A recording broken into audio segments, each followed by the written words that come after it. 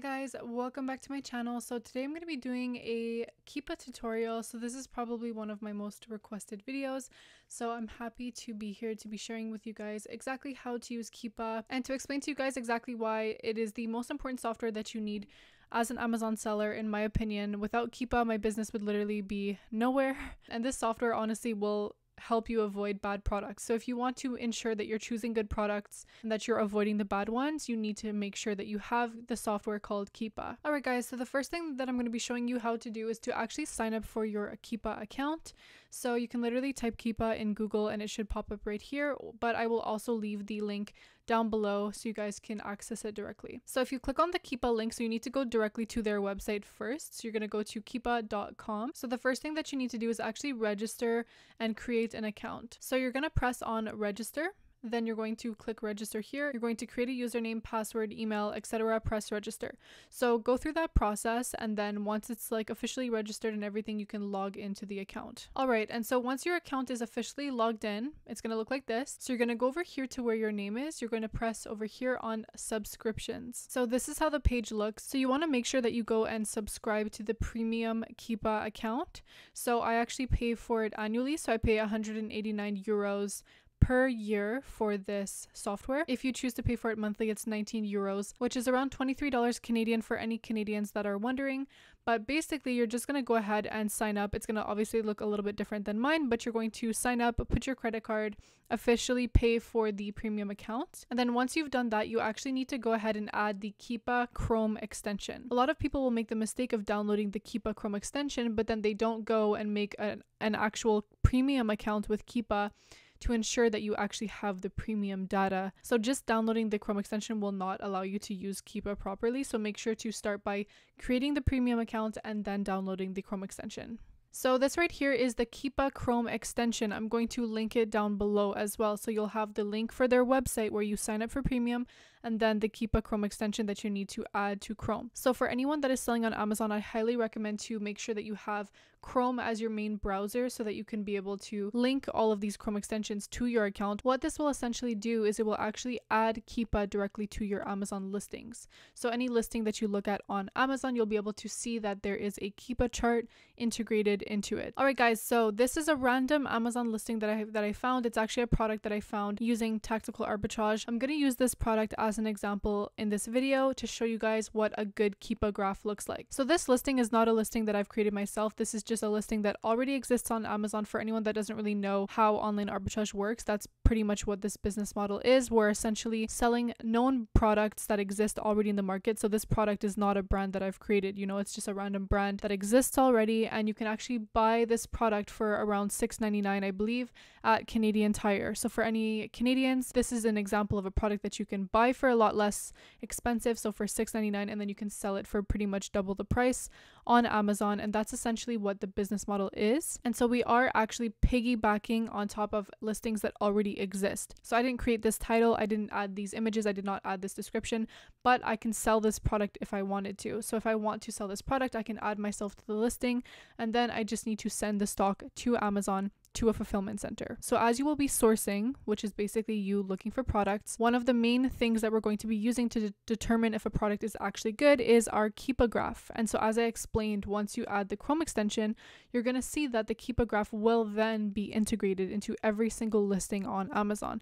And if I go press on any other listing, so if I'm like, okay, well, I, maybe I should check this variation, I can go click on any other listing that exists on Amazon and you will see that the Keepa graph will appear here. So this is essentially how the Keepa graph works. This is how it will be integrated into your listings, and then we will essentially use these graphs to analyze the history of these listings to determine if it's going to be a good purchase or not. All right, so we're going to start with this one here. So this is the first product that I showed you guys. So I'm going to start by explaining some of the key features with Keepa, the main features that we will use pretty much to analyze these products. All right, so the first thing that I want you guys to understand are the different colors. So first of all, we're going to be looking at the top chart. So look at the top chart chart here, the first chart. There's three different charts here, but we're going to we're going to start with the top one. The first thing that I want you guys to look at is the pink color. So basically the pink color actually represents the price. So this is how I like to explain it. So the pink represents the price. So actually what I want you to, to remember is that pink and purple represent the price. So if ever you forget what colors represent what, you can always see them here. So purple here is new prices, pink is price, but when there's a buy box, um, green is the sales rank, etc. So that so essentially that's how you're going to remember what each color means. But we're going to start with the pink line. So pink represents the price, but specifically when there is a buy box. And so if you guys understand what the buy box is, so this is literally the buy box right here. Whenever there's a buy now button, um, that's essentially what the buy box is. And you guys will see some listings that don't actually have a buy box. And that doesn't necessarily mean that they are bad listings. It just means that there's no buy box. And typically when there's no buy box, there will be generally a bit less sales than a listing that has a buy box. So seeing a pink line is generally good, but it also does not mean that the product won't sell because I have plenty of products that don't have buy boxes that still sell quite well. And so if there's no buy box, the line will actually be purple. So you see here, if I take my mouse off of the graph, it's generally a pink line. That means that this listing has had a buy box for the past three months. So we're actually looking at the past three months of the history of this listing. So you can see that there has been a buy box for the last three months, which is a good sign.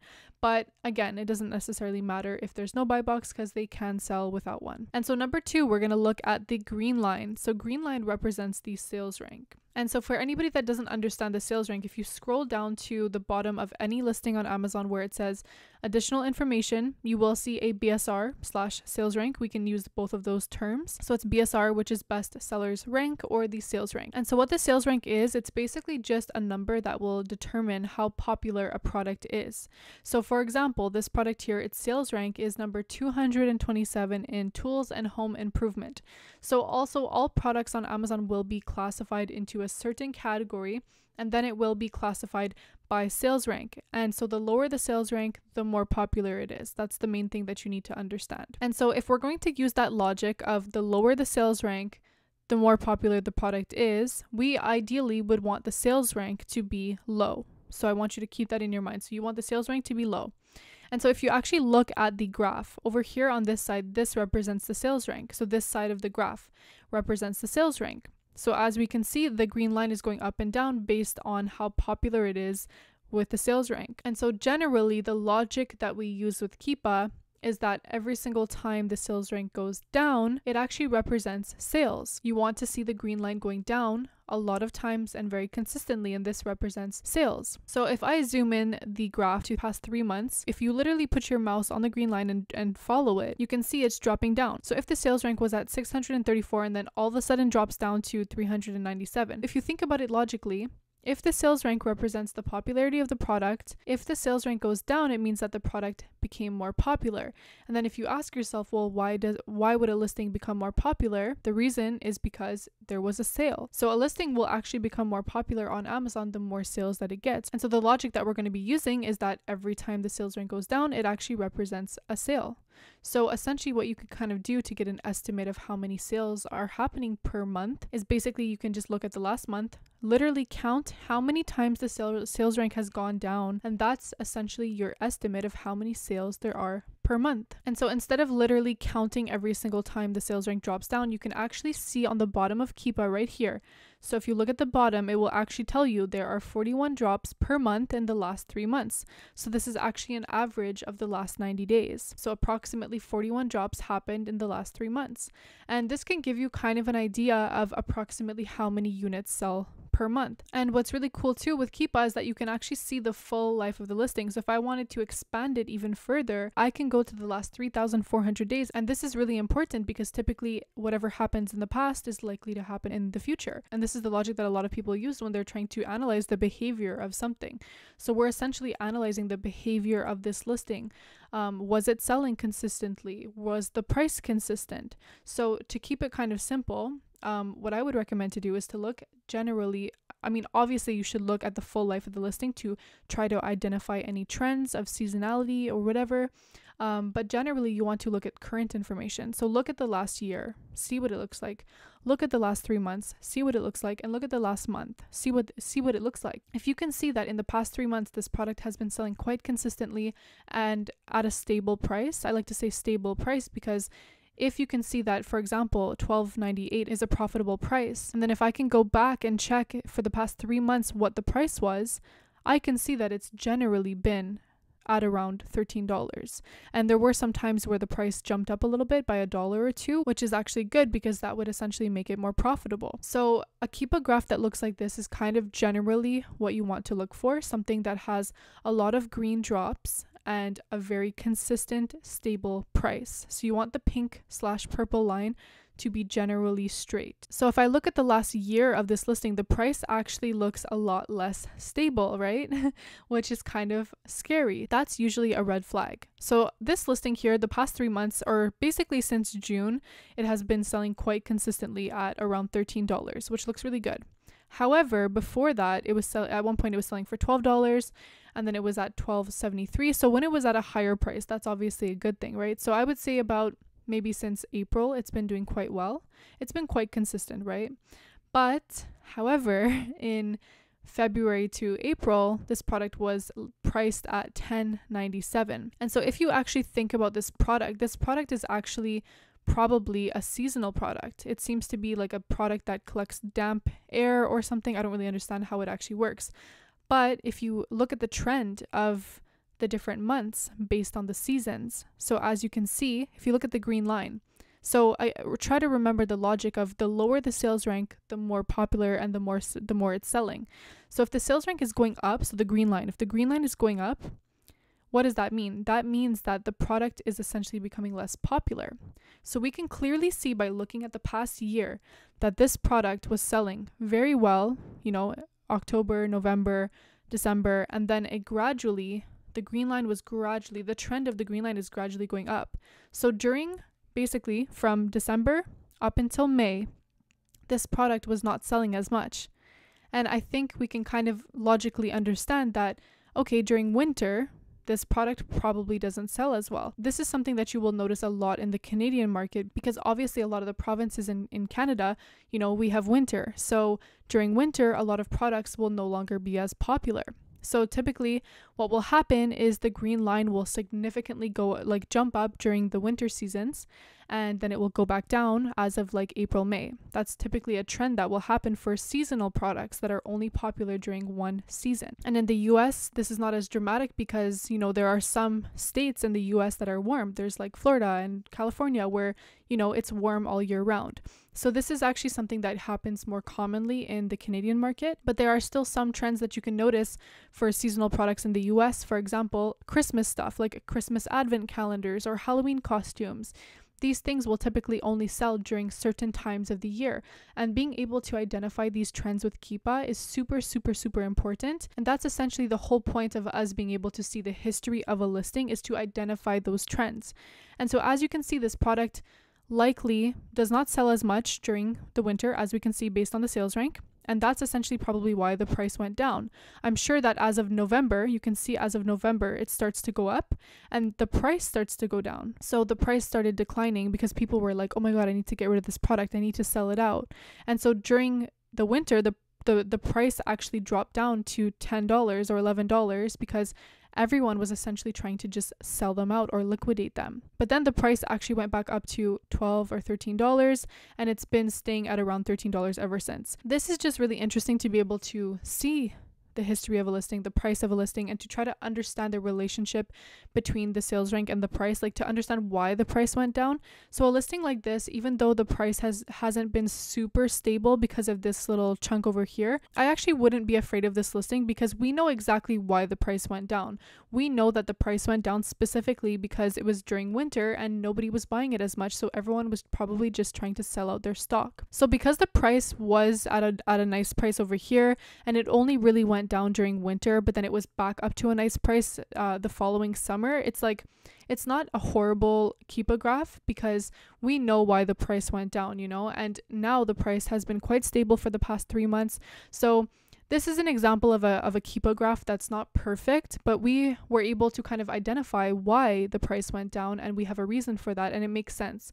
So this is something that I would recommend to only really sell during, you know, maybe from May or starting mid April pretty much up until November, December, or it was really in January when it really stopped selling quite consistently. But this is definitely a product that will primarily sell during the summer seasons. And so, this is essentially why we use Keepa. It's to basically identify these trends, to understand if this product will sell all year round or if it's a seasonal product, to understand if the price has been consistent or stable. As long as you can find a product that has been selling consistently at a consistently profitable price, make sure that this $13 is at a profitable price for you. If it's not, then obviously it's not a good product. But make sure that you're checking off those boxes, make sure it's been selling consistently and it's at a consistently stable price. And so I'm actually going to go to the second product that we looked at quickly earlier because the Keepa graph is kind of the opposite what you want to find. So this product here is another product from the same brand, but um, now I want to talk to you guys about the color orange. So orange represents Amazon. So if ever you see a listing where Amazon is currently selling this product, you definitely want to stay away from it. However, in this example, Amazon was selling this product pretty much up until the beginning of September. So typically my rule is like I don't want to see Amazon on a listing for at least 6 months to maybe 1 year. I mean, ideally the less orange the better. And if you can avoid any listing that has orange on it, that's really good. So a listing that has zero orange is probably the best possible scenario. However, we're not always that lucky. Sometimes, you know, you'll still have really good products that Amazon used to sell, so don't necessarily completely dismiss products where Amazon used to sell them because sometimes you can still find good ones, but the less orange, the better. And so this product here, Amazon was selling this product at 1668, 1669, and they were selling it basically for the past couple of months. If I expand it to a year ago, we can actually see that that Amazon was selling this product pretty much the whole year. They weren't in stock during October, a little bit in January, and now they've been out of stock for about half of a month. So, about 15 days, let's say. So, a listing like this is quite risky because if Amazon has sold this product in the past, it's very likely that they will come back on the listing, especially if we can see that Amazon has been there for almost the full entire year. The logic you want to use is imagine you were to restock this product in January, and then Amazon comes in stock right here and they sold this product up until September. So if you would have had inventory in stock as of January and then Amazon came in stock for pretty much the whole year, you wouldn't have been able to make sales pretty much up until September. So your inventory would have been stuck sitting at Amazon collecting storage fees, and honestly, that's just not a good idea. So a listing like this, I would definitely stay away from. Ideally, you want to look for listings that look a little bit more like this product here that we initially started with. So something like this is a lot safer this is ideally what you want to look for. If I go to the full life of this listing, Amazon has never sold this product, not once. So this is a good sign. Like something like this is a really good sign and this is ideally what you want to find. So to summarize one last time, you want the green line to have a lot of movement. You want the pink and purple line to be very stable, so ideally as straight as possible, and then you want there to be little to no orange. And that's essentially what you want to look for in a Keepa graph. Alright guys, so I'm going to end the video at that. I really hope that this video was helpful. There's a lot more features that Keepa offers, but I wanted to kind of keep it simple for my first video. If you guys want anything more specific for Keepa, please let me know. I will definitely make a part two of the Keepa tutorial and I'll show you guys a couple more features that Keepa offers. But I really hope that this video helps you guys understand Keepa a little bit better and use it to make sure that you're buying good products. So I just wanted to say thank you guys so much for watching my videos. And if you found it helpful, please leave me a thumbs up and I will see you guys in the next video.